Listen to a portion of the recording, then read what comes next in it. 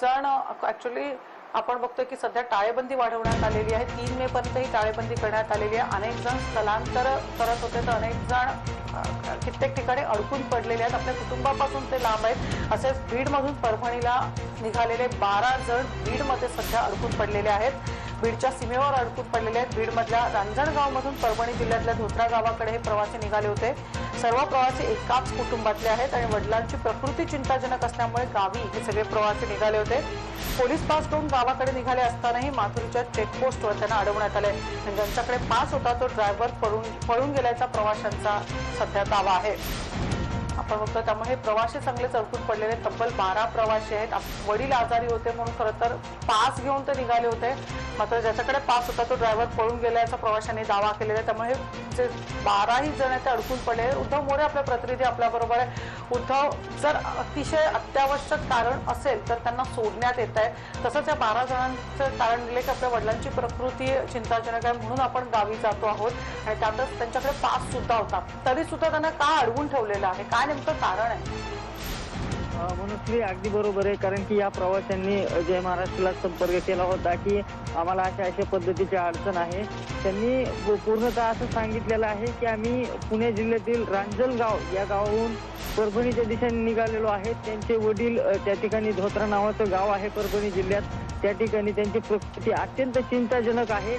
कुठल्याही क्षणी त्यांचा मृत्यू होऊ शकतो असं या प्रवाशाने आपल्याला सांगितलेलं आहे. त्यामुळं आपण जे आहे नगर आणि बीडच्या सीमेवरून त्या ठिकाणी निघले होते. मात्र सकाळी पहाटे पाच वाजता यांना या चेकपोस्टवर अडवण्यात आलं. या प्रवाशांचं असंही मत आहे की आम्हाला या ठिकाणी मारहाण झालेली आहे.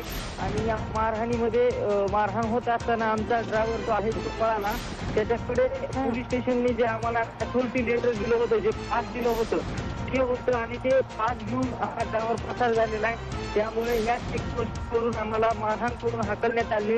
त्यांनी एक व्हिडिओ देखील आपल्याला पाठवलेला आहे. त्याच्यामध्ये असं स्पष्ट दिसतं की जंगलामध्ये जे आहे ते यांना सोडण्यात आलेलं आहे. रस्त्यावर आहे आणि यांना पाणी जेवण कसलीही सुविधा आतापर्यंत नाही नाहीये त्या ठिकाणी. आता त्यांचं असं म्हणणं आहे की जे काही आमचे जे लोक आहेत ते तहानलेले आहेत यांना जे काही पाणी नाही मिळालं तर यांची देखील प्रकृती चिंताजनक होऊ शकते. या सगळ्या प्रश्नासंदर्भामध्ये जे आमदार आहेत नाही नाही उद्धव उद्धव अशा प्रकारे जेव्हा अडवण्यात येतं तेव्हा त्यांना नाही नाही अशा प्रकारे अडवण्यात येतं तेव्हा त्यांना संक्रमण कक्षात किंवा इतर ठिकाणी त्यांची रवानगी करण्यात येते किंवा त्यांना थांबवण्यात येतं. तसा कोणताही प्रकार का दिसत नाही? का खरं तर अत्याचार सुरू आहे पोलिसांचा. काय नेमकं सांगाल? अगदी बरोबर आहे म्हणून ती कारण की कसल्याही प्रकारची काळजी म्हणजे ज्यांना क्वारंटाईन करा किंवा मेडिकल चेकअपसाठी जे संदिग्ध आहेत त्यांना पाठवण्यात येतं. मात्र या प्रकरणामध्ये असा प्रकार दिसलेला नाहीये. या लोकांना चक्क टोल पोस्ट चेकपोस्ट जे आहे त्या ठिकाणून हाकलून देण्याचं काम जे आहे ते त्या ठिकाणी कर्मचाऱ्यांनी केलेलं आहे. गावकऱ्यांनी देखील या लोकांना मारहाण केल्याचं हे सांगतायत जे प्रवासी आहेत ते सांगतायत.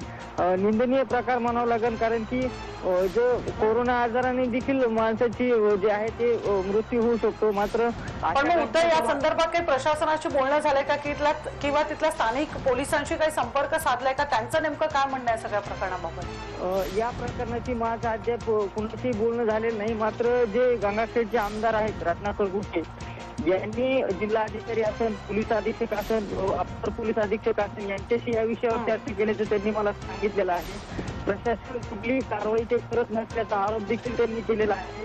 त्यामुळं लवकरात लवकर या सगळ्या समस्या आहेत. यांची व्यवस्था करण्यात यावी. अशी देखील रत्नाकर गुटे यांनी मागणी केली जिल्हाधिकारी यांच्याकडे केली होती.